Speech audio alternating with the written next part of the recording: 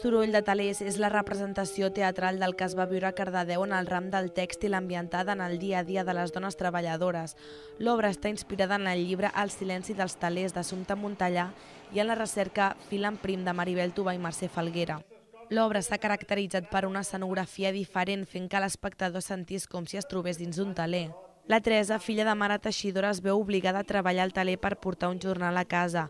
L'obra exemplifica el cas de la Teresa en representació de la quantitat de nens i en aquest cas nenes que amb l'edat de 14 anys es van veure obligades a treballar en unes condicions d'explotació i també en mentalitzar que avui en dia en molts països aquestes situacions de precarietat segueixen existint.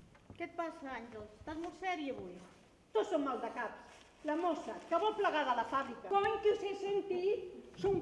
L'obra Soroll de Talers forma part de la companyia Artescena Social. Ja fa un any que la companyia va iniciar el projecte Teixidores. Aquest pretén fer reflexionar el públic sobre el paper de la dona, la dignitat en el treball, les situacions d'explotació actuals i el consum responsable.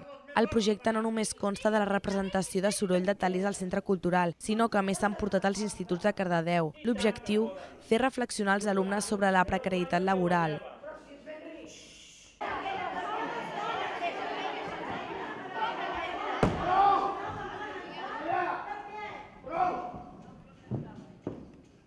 El projecte pretén cercar imatges, objectes, fotografies i gravar entrevistes per recollir així la memòria oral de les treballadores del tèxtil de la vila de Cardedeu.